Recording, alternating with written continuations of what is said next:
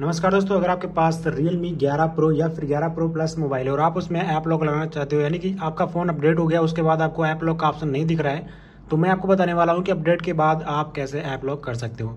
तो इसके लिए दोस्तों सिंपली आपको फ़ोन की सेटिंग में जाना पड़ेगा एंड उसके बाद जाना पड़ेगा यहाँ पर, देखिए सिक्योरिटी एंड प्राइवेसी का ऑप्शन मिल जाएगा, इस पर जाना है।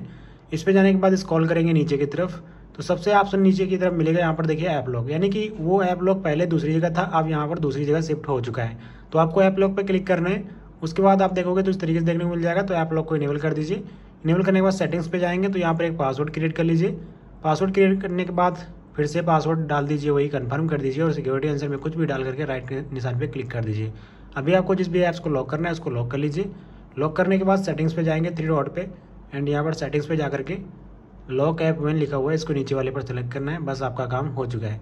अब आपका ऐप्स लॉक हो चुके हैं। तो इस तरीके से आप ऐप लॉक कर सकते हो।